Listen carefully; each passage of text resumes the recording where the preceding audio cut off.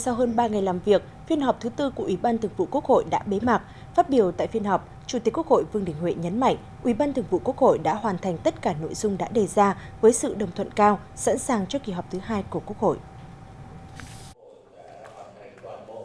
Chủ tịch Quốc hội Vương Đình Huệ đề nghị ngay sau phiên họp này, Ban dân nguyện chủ trì phối hợp với các cơ quan hữu quan khẩn trương tổng hợp ý kiến, kiến nghị của cử tri và nhân dân gửi đến kỳ họp thứ hai, đồng thời tham mưu Ủy ban Thường vụ Quốc hội phối hợp với Mặt trận Tổ quốc Việt Nam sớm hoàn thiện báo cáo quan trọng này.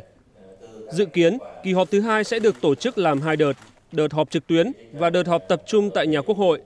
Chủ tịch Quốc hội nhấn mạnh, cả hệ thống chính trị, doanh nghiệp, người dân đang rất trông chờ những quyết sách của Quốc hội. Vì vậy, Quốc hội sẽ làm việc cả ngày thứ Bảy và Chủ nhật để rút ngắn tối đa thời gian nhưng vẫn bảo đảm cao nhất về chất lượng kỳ họp.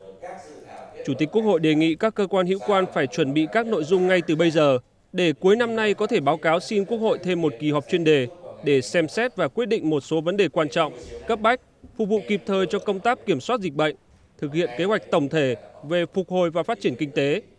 Nếu bổ sung thêm một kỳ họp không thường xuyên vào cuối năm, thì đây là lần đầu tiên trong một năm Quốc hội họp 4 kỳ họp